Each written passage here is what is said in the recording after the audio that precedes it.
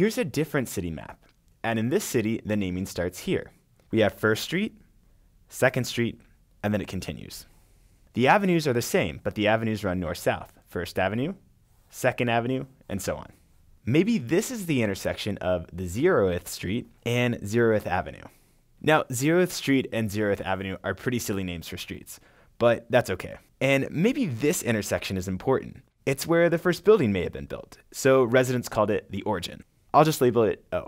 Now, I want to think about this intersection at 5th Street and 3rd Avenue in relationship to the origin. How would you complete the following statement? How many blocks is this intersection to the right of the origin and above the origin? Fill in the numbers here.